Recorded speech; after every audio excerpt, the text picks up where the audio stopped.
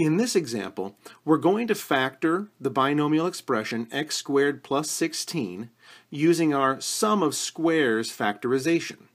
So remember that sum of squares is a lot like difference of squares, except of course we have an addition instead of a subtraction, and also we have imaginary numbers in our factorization.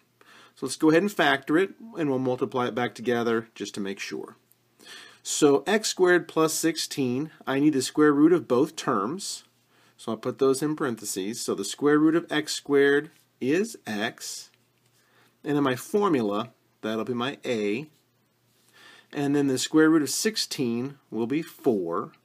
And from my formula, that'll be b.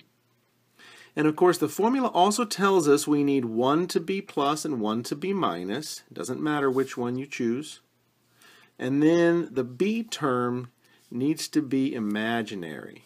So we're going to have quantity x plus 4i times quantity x minus 4i.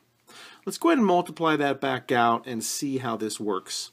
So x times x is x squared, and then x times negative 4i will be minus 4ix, and then a positive 4i times x will be a plus 4ix, and then the positive 4i times the negative 4i is going to give us negative 16i squared.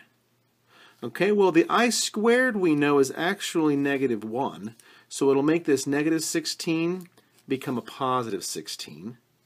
And again, right away too, we see that these middle terms actually cancel each other out, and we're left with x squared plus 16, which was our original problem. So we see that our sum of squares factorization worked well in this example.